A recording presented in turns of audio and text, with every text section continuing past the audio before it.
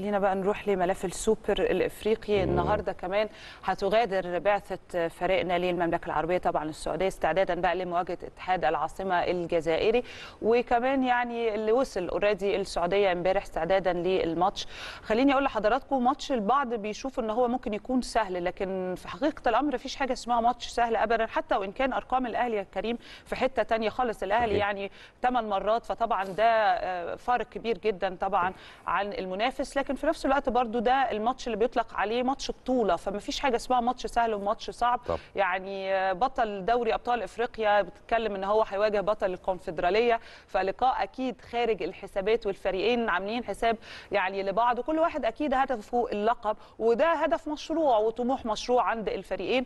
من ضمن كمان أهداف الأهلي خليني أقول لحضراتكم حصده لقب قاري جديد عشان تقليص الفارق بينه وبين ريال مدريد ده اللي بنأمل ليه كمان في عدد طبعا الألقاب القارية.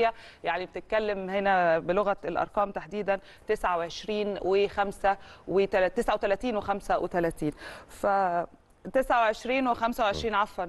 الواحد بس إيه. هو من كتر الأرقام كتر الأرقام الواحد اتلخبط عايزة بس أقول حاجة كمان وهنرجع تاني نأكد عليها عشان اتكلمنا فيها امبارح تحديدا. ناس كتيرة كانت بتسأل الأعداد الموجودة دلوقتي والتذاكر تم الإعلان من السبت اللي فات عن طرحها والأسعار موجودة من 15 ريال مش من 100 ريال من 15 ريال لغاية 1000 ريال. ده عدد أو ده سعر التذاكر للي حابب إن هو يحضر طبعا من المصريين أو من الأهلاوية يعني هذه المباراة. وذوي الهمم طبعا بيكون بالمجاني لأن already ناس كتيرة حابة إن هي تحضر. وقلنا الكلام ده قبل كده الجاليات أصلا أو الجالية المصرية تحديدا في السعودية عددها كبير جدا فبتهيألي هيبقى العدد كبير يعني مش قلقانين ابدا على الأهلي هناك. أكيد أكيد هيبقى العدد كبير وأكيد هتكون مباراة قوية جدا كلنا قاعدين مستنيين ومنط يعني بنترقب ونشوف يا ترى يعني هيحصل إيه مع نهايتها وإن شاء الله تكون نهايتها لصالح النادي الأهلي.